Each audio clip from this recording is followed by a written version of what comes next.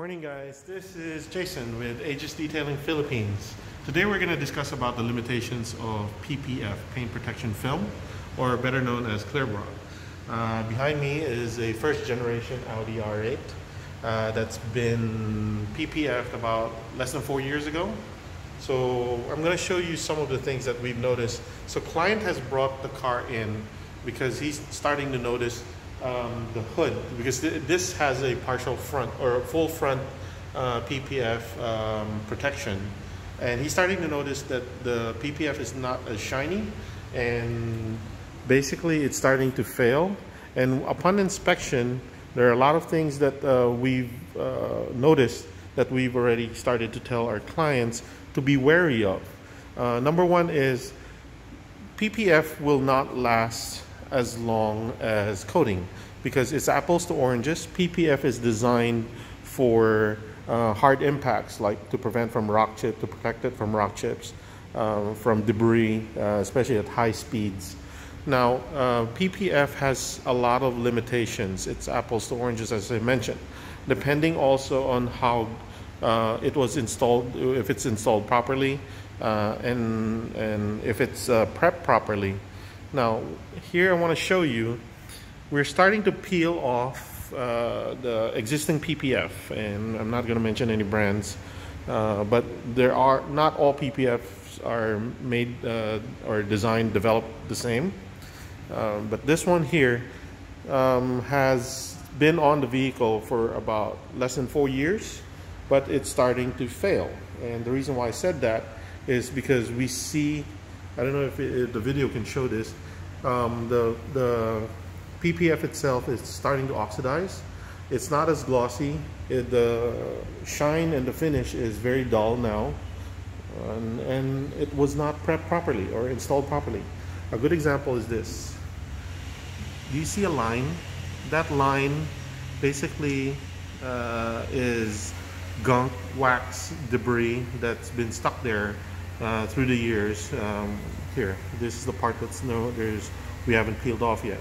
So there's a lot of debris that's uh, stuck in the middle, and there shouldn't be a line there to, to begin with. Uh, so the installer basically did some shortcuts, uh, and basically to make it easier for him to install, and didn't do a single piece. There should be just a single piece uh, going across the hood, so to prevent this type of uh, line. And even if, let's say, uh, the installer has encountered a surface that he requires or he needs to uh, do a uh, separate piece, the cut should be even on the body line. But if you look at here, it is an uneven cut. So uh, hence uh, we have this line as like a fake extra panel. Here is, you can see it on this end as well and what the installer has done and he has did you see the cutout around the V10 um, the proper way to do that is do this is basically remove the the badge or the the decal before applying the PPF and reinstall the decal properly but he didn't do this and instead did did a manual cut. It's not even a um, pre-cut from a machine uh, or from a CAD. It's a manual cut, so the the the cut is very uneven. See that? So these are the things that uh, keep an eye out, especially for high-end cars like this. It should be done properly. Now, going to the PPF. This is what we removed. See the yellowing?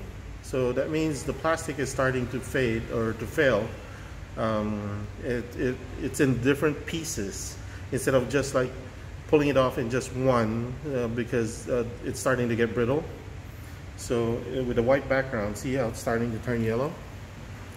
And here it is on the vehicle. It's not as prominent on a black background or black car, but if your car is a light color or white, uh, this will show uh, very prominent that the PPF is starting to fail.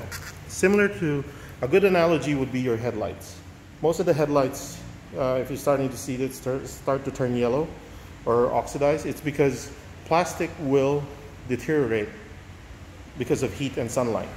Okay, the UV and plastic will basically turn and start to fail. There are PPF manufacturers now that are, are developing products that are stronger, uh, that has a higher um, lifespan, and they have anti-yellowing um, features, puncture proof instead of puncture resist, uh, more stronger, more durable. So this is what uh, we need to be aware of when we're investing. PPF is probably the most expensive paint protection solution for your vehicle next to coatings and sealants and whatnot. So just be aware. Again, there are certain limitations for PPF. If you leave, if the owner has decided to keep the PPF longer, because let's say he spent a lot of money on the PPF and he wants to keep it longer, then there's an issue with the adhesive behind the PPF to start um, uh, damaging the clear coat. So the clear coat will now start to turn yellow. And again, it's going to be prominent more on a lighter color vehicle. But again, so uh, please be aware uh, for those uh, professional detailers out there um, or who's people who are thinking of doing PPF, just be mindful there are certain limitations. It's apples to oranges between PPF and coating. Okay, so now the client wants this redone the P, with the PPF uh, and then coated with our uh, proprietary glass coating Atom 6.